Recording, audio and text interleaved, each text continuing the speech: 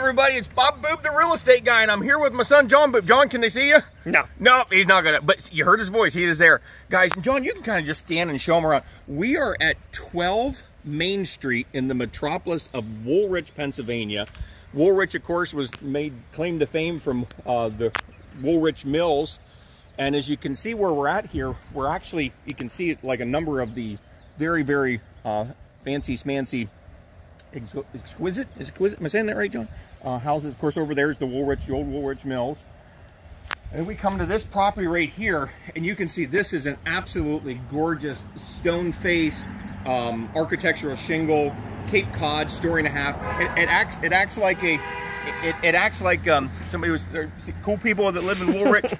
um, oh, Jon, something else to show them too. Then see that where that old church is right there. That's a community center, actually. And to the left of that is the big Woolrich Park. So the community center actually, do you know, Jon, has three bowling alleys in it. Yeah, we got to take the kids. In. Oh, I guess we are doing a recording here. But if you guys want to join us, you can go bowling with us some night then. But it's just an absolute beautiful spot out here then. So what we're to do, we're to hit stop and start a few times. We're to stop and we're to show you some more of the yard here. Hold on. Okay, so now we're in the back of the house here. And you can see it's a huge lot, Jon. It's like 1.1 acres. And of course, you can see the back of the house here, nice sized deck. There you can see the big dormer that comes out. We'll show you the bedrooms when we go up there earlier or later. And then, as I guess as you're spinning here, Jon, one of the unique features about this property, one, having an acre of ground in Woolrich, but this is an old carriage garage. Um, it is, I don't know the year that this was built, but geez, Jon, what do you figure? It's got to be 100, 150 years old, yeah. probably. I mean, that bad boy. And it's got intricate, you know, molding there and stuff. So inside you have three car garage, Plus you have a big storage area there. And then over here you have some extra storage. Uh, nice manicured yard, some mature trees, but lots of open space. So it's uh, really just a, if you do any sort of entertaining or just like to be out in your yard, it's a, it's a great spot. And of course, as I showed you there earlier, but I forgot to point out, you got two car garage there. And Jon, can you see the weather vane too? Yep. Isn't that a cool thing up there? All right, I'm old. I think that's really cool. All right, guys, we're going to push pause and we're going to show you inside the house. Okay, so now I'm going to take you inside, but Jon, I, am just a geek with some of this stuff. Whoever built this house originally, I think it was 1956. So think this house was being built when Elvis was out there becoming popular. But Jon, look at the hinges on this door. Are they not beautiful? I, I'm assuming it's brass. And then at the top there, can you see that's where an R? Yeah. I thought it was for Robert. It was meant for my house, but but it was Rich. Because again, going back to Woolrich, this was one of the riches that originally built the property here. Now, we're going to go a couple different directions, but just kind of give a lay of the land here. Um, right, right now, we're looking towards the steps that'll take you upstairs. And then, of course, this way, you're going to see on this wing that there's some bedrooms and a bath. But Jon, I guess maybe let's just show them inside the living room here. And you hear, hear the echo, echo, echo big, ginormous living room. Yes, ginormous is a professional real estate term then. But Jon, if you want to show them closer to that fireplace, you're going to see on the fireplace, look at the marble. It is absolutely gorgeous. I cannot even imagine what it would cost to create a marble fireplace like that. And of course, you have the big living room. And one of the things I'll point out to you, matter of fact, I'll point out to you here, dining room area here, Jon, nice chandelier here. But look at the, the windowsills. I, I feel like most all the windowsills in the house, that's actually marble too. And you can see now you get double pane replacement windows here. Get a good look at the backyard we had looked at earlier. A lot of nice crown molding here, stuff at the top. So if you're looking for a house with some character, some personality, this is uh, this certainly has it then. All right, Jon, we'll go over here and show everybody the kitchen. Now, Jon, this is really, let's see here if it works or not.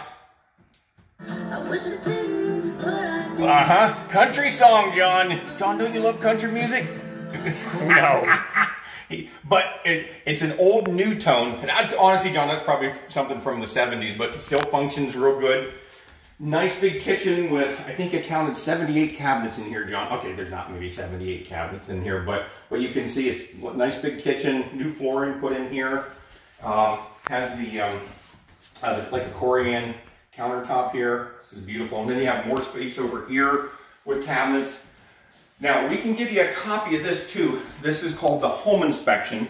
So what the owner did, um, they had the house inspected. So if you would like a copy of that, just text me or Jon and we'll get that sent to you. A PDF or PDF, do you know what that is, Jon? Like an email copy of it. Um, this is the dining area. Got to teach these young kids about that smart computer stuff. But again, Jon, look at that. The marble windowsills. Pretty neat, huh? Okay, yeah, well, let's just keep going, Jon. Jon, are we having fun? Tons. Now look. Now, do you remember the old saloons back in the day with the on the Western movies? Ching ching. You can walk right in here, and guess what's in the saloon? The saloon is actually the laundry and a half bath down here. Because you actually have three bathrooms in the house here. And of course, there's a big, big closet over here for storage. And, and again, this has a newer floor. Now, Jon, I tell you what, if you want to keep walking forward there, this is a very unique room. It's, I guess, like a den or a sunroom. Of course, it's overlooking that deck here. But there's big, big sliding doors there. But this is actually a brick floor. I mean, this is this is really intriguing. Now, Jon, I guess I'll let you show them through the door there just to kind of give an idea of where the garage sits. So the two-car garage, it's on the side of the house, so you can pull your car in there, and this is where you'd come in. So I guess it could act like a mud room too, but it's a really neat, neat spot. All right, guys, come on. Now, if you have questions on financing, reach out to us. There's some good programs out there. Um, this is also the kind of house that you might own a house right now, and maybe you want to know what yours is worth. Just reach out to us. We can give you an idea on that. Now, Jon, this could be a bedroom. This house has so many rooms, we're going to have to make up names for these. But as you can see, it has the built-in bookshelves. I think it was probably used more as a den or an office area. But again, it has the wood floors, nice big window seat right there uh, looking over the front yard. And then we continue on, and Jon, I'll let you. Wait, Jon, you smell good. What's your cologne? You smell really, really nice. Here, now this was used more as a true first floor bedroom. Has the wood floors and the closet area in there. Lots of lots of windows in there. Big big hall closet here, Jon. And then Jon, I'll let you walk into. So this is bathroom number two that we're looking at. Has a big big countertop. I think it's like 13 foot long countertop in there. Okay, maybe it's seven or eight feet, but but Jon, look look who's in the mirror. Look, see that's what Jon Boob looks like. He does exist. But then you have the shower and tub there, linen closet in here then. So nice. Oh, got a plunger in there too in case needed.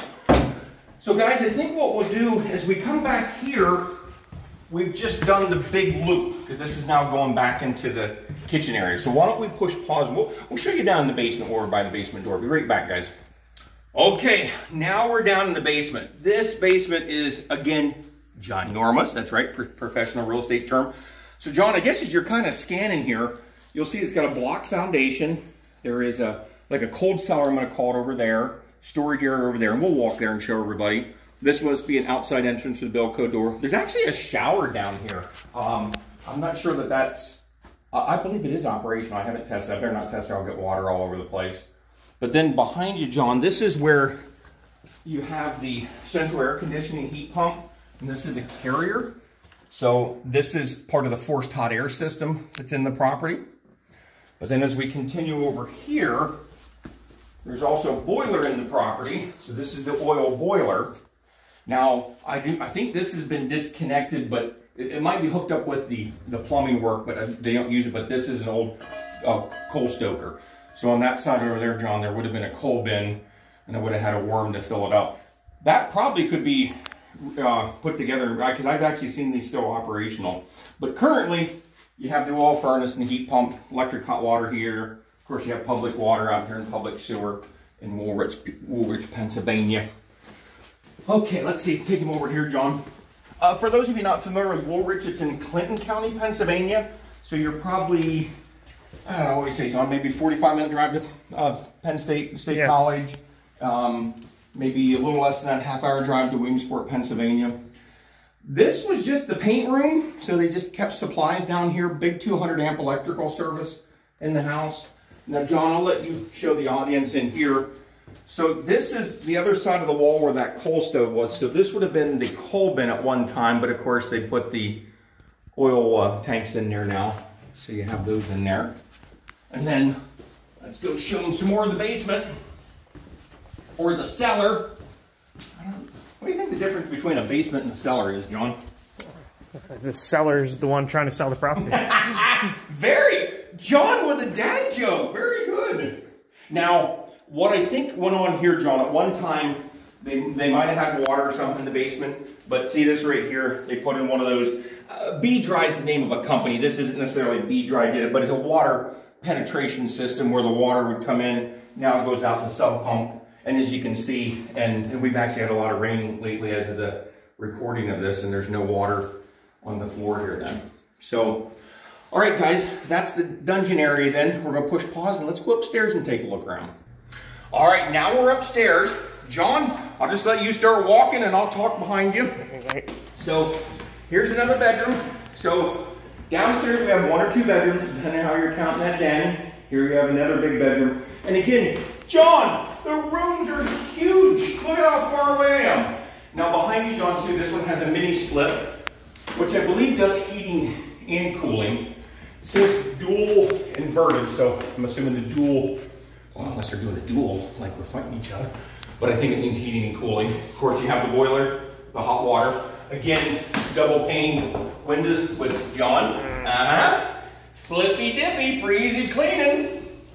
Now the NuTone system um, throughout here, I don't know 100% accurate that all the rooms work, but these have to do with what, like right now it's telling you the lights are on in these rooms, okay? So you could, you know, know what light to turn on or off. Um, and I'm not sure about all the speakers, but as we know in the kitchen, the one in the kitchen works. And then Jon, here's our third bathroom here. Now this bath has the double sink. A couple people can brush their teeth and shave in the morning. Of course, got the throne. Boy, look at these good looking guys there in here, Jon. Now here you got a big shower in here. I think that has a light. Whoop, turn off the light on me, Jon. oh, Jon, didn't pay the power bill. Oh, there we go. So, there we go there. Again, wood floor out, wood floors throughout. Easy for me to say, I'm so excited. This room here has built-in bookshelves. So you can see what's happening here, Jon. This is where, this is the Cape Cod, and you have the roof line coming down here. And of course, they kind of built this out. You know what that's called again?